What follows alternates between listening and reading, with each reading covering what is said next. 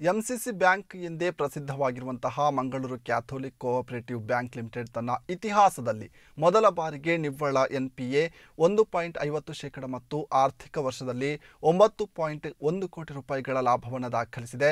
Christian ಸಮುದಾಯದ banking ಅಗತ್ಯಗಳಿಗಾಗಿ P F F X Saldanha ಮತ್ತು ಸಮುದಾಯದ ಇತರ ಮುಖಂಡರಿಂದ ಎಂಸಿಸಿ ಬ್ಯಾಂಕ್ ಸಾವಿರದ ಒಂಬೈನೂರ ಹನ್ನೆರಡರಲ್ಲಿ ಸ್ಥಾಪನೆಯಾಗಿ ಸಂಸ್ಥೆಯು ಕಳೆದ ನೂರ ಹತ್ತು ವರ್ಷಗಳಲ್ಲಿ ಸ್ಥಿರವಾಗಿ ಬೆಳೆದಿದೆ. ಈ ಕುರಿತು ಎಂಸಿಸಿ ಬ್ಯಾಂಕ್ ಅಧ್ಯಕ್ಷ ಅನಿಲ್ ಲೋಬ್ ಅವರು ಮಾತನಾಡಿ ನಮ್ಮ ಬ್ಯಾಂಕ್ನ ತಂಡದ ಅತ್ಯುತ್ತಮ ಪ್ರಯತ್ನಗಳಿಂದ ಈ ಬಾರಿ ಹೆಚ್ಚಿನ ಲಾಭ ಗಳಿಸಿದೆ ಮತ್ತು ಮುಂದೆಯೂ ಕೂಡ ಇದೇ ರೀತಿಯ ಕೆಲಸಗಳು ನಡೆಯುತ್ತದೆ.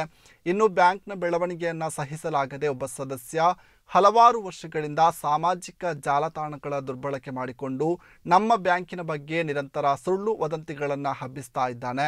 ಈತನ ವಿರುದ್ಧ ಪೊಲೀಸರಿಗೆ ದೂರು ನೀಡಿದ್ದು ಮಂಗಳೂರು ಉತ್ತರ ಪೊಲೀಸ್ ಠಾಣೆಯಲ್ಲಿ ಎಫ್ಐಆರ್ ಎಫ್ಐಆರ್ ದಾಖಲಾಗಿದೆ. ಮಂಗಳೂರಿನ ಜೆಎಂಎಫ್ಸಿ ನ್ಯಾಯಾಲಯದಲ್ಲಿ ಐಪಿಸಿ ಸೆಕ್ಷನ್ ಐನೂರ ಅಡಿಯಲ್ಲಿ ಪ್ರಕರಣ ದಾಖಲಾಗಿದೆ ಎಂದು ಮಾಹಿತಿ ನೀಡಿದ್ದಾರೆ. ಸಿ ಸಿ ಬ್ಯಾಂಕಿಗೆ ನೂರ ಹತ್ತು ವರ್ಷದ ಇತಿಹಾ ಇತಿಹಾಸವಿದೆ. ಸಮುದಾಯದ ಅಭಿವೃದ್ಧಿ ದೃಷ್ಟಿಯಿಂದ ಉದ್ದೇಶವನ್ನು ಇಟ್ಟುಕೊಂಡು ನಮ್ಮ ಪೂರ್ವಜರು ಈ ಬ್ಯಾಂಕನ್ನು ಕಟ್ಟಿ ಬೆಳೆಸಿದ್ದಾರೆ. ಬ್ಯಾಂಕಿನ ಇತಿಹಾಸದಲ್ಲೇ ಈ ಪ್ರಪ್ರಥಮ ಬಾರಿಗೆ ನಿನ್ನೆ ಮೊನ್ನೆ March ಮೂವತ್ತೊಂದಕ್ಕೆ two two, two thousand twenty two ಇಯರಿಗೆ ನಮ್ಮ ಬ್ಯಾಂಕು ನಿವ್ವಳ N P A one point five zero non performing assets ಒಂದು, ಇದೊಂದು ಭಾರಿ ಒಂದು ಒಳ್ಳೆಯ ಬ್ಯಾಂಕ್ ಹೆಲ್ತ್ ಉಂಟಂತ ಇದರ ಮುಖಾಂತರ ಗೊತ್ತಾಗ್ತದೆ. ಕಳೆದ ಕೆಲವು ವರ್ಷಗಳಿಂದ ಜೆರಲ್ ಟವರ್ಸ್ ಎಂಬಾತ ತಾನೊಬ್ಬ ಸಾಮಾಜಿಕ ಕಾರ್ಯಕರ್ತನೆಂದು ವೇಷ ಹಾಕಿಕೊಂಡು ನಮ್ಮ ಬ್ಯಾಂಕಿನ ವಿರುದ್ಧ ಸುಳ್ಳು ವದಂತಿಗಳನ್ನು ಹಬ್ಬಿಸ್ತಾ ಇದ್ದಾನೆ. ಇದು ನಮ್ಮ ಬ್ಯಾಂಕಿಗೆ ತುಂಬ ಒಂದು ಡ್ಯಾಮೇಜ್ ಮಾಡುವಂಥ ವ್ಯವಸ್ಥೆ ಇಂಟೆನ್ಷನಲ್ಲಿ ಮಾಡ್ತಾನೆ ಅವ. ಅವ ನಮ್ಮ ಒಳ್ಳೆಯ ಬ್ಯಾಂಕಿನ ಗ್ರಾಹಕ ಹಾಗೂ ಸದಸ್ಯ ಕೂಡ ಹೌದು ಹಾಗಿರುವಾಗ ಅವನಿಗೆ ನಾನು ನಮ್ಮದು ಆಡಳಿತ ಮಂಡಳಿ ಬಂದ ಮೇಲೆ ನಮ್ಮದು ಇಂಟೆನ್ಷನ್ ಎಂತ ಹೇಳಿದರೆ ಕಸ್ಟಮರ್ ಈಸ್ ಗಾಡ್ ಅಂತ ನಾವು ಟ್ರೀಟ್ ಮಾಡ್ತೇವೆ. ಇದರ ವಿರುದ್ಧ ನಾವು ಕಳೆದ ವರ್ಷವೇ ಪೊಲೀಸ್ ಕಂಪ್ಲೇಂಟ್ ಕೊಟ್ಟಿದ್ದೇವೆ. ಅವನ ಮೇಲೆ ಎಫ್ ಐ ಆರ್ ರಿಜಿಸ್ಟರ್ ಆಗಿದೆ. ಕೋರ್ಟಲ್ಲಿ ಪ್ರೈವೇಟ್ ಕಂಪ್ಲೇಂಟ್ ರಿಜಿಸ್ಟರ್ ಆಗಿದೆ. ಅವನ ಮೇಲೆ ಸಮನ್ಸ್ ಈಗಾಗಲೇ ಹೋಗಿದೆ.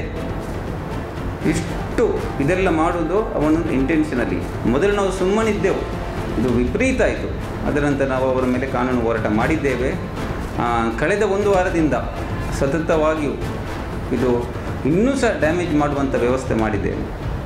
ಆದ್ದರಿಂದ ಇದರ ನಮ್ಮ ಏನು ನಾವು ಕ್ರಿಮಿನಲ್ ಆ್ಯಕ್ಷನ್ ಮಾಡಿದ್ದೇವೆ ನೋಡಿ, ಅದರ ವಿರುದ್ಧ ಸೇಡು ತೀರಿಸಲಿಕ್ಕೆ ಇದು ಪ್ರೆಸ್ ಮೀಟ್ ಕರೆದು ಸೇಡು ತೀರಿಸುವುದೇ ಅವನ ಉದ್ದೇಶ.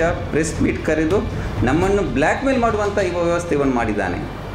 ಈ ಸೋಷಿಯಲ್ ಮೀಡಿಯಾದಲ್ಲಿ ಎಲ್ಲ ಸದಸ್ಯರಿಗೆ ಶೇರ್ ಮಾಡಿದ್ದಾನೆ. ಅದಕ್ಕೆ ಸಹ ಮುಂದಿನ ದಿವಸದಲ್ಲಿ ನಾವು ಕಾನೂನು ಹೋರಾಟ ಮಾಡ್ತೇವೆ. ನಂತರ ಗ್ರೂಪಲ್ಲಿ ಶೇರ್ ಮಾಡಿದ್ದಾನೆ. ಗ್ರೂಪಲ್ಲಿ ಶೇರ್ ಮಾಡಿದರೆ ಆ ಗ್ರೂಪಿನ ಅಡ್ಮಿನ್ ಅವರೇ ಹೊಣೆ.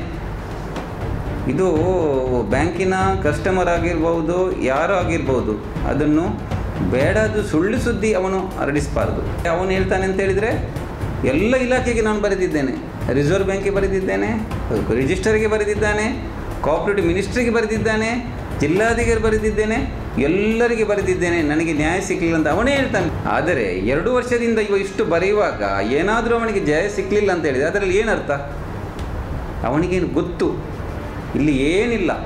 ಅವನ ನನ್ನ ಮೇಲೆ, ನನ್ನ ಡೈರೆಕ್ಟರ್ ಮೇಲೆ ನಮ್ಮ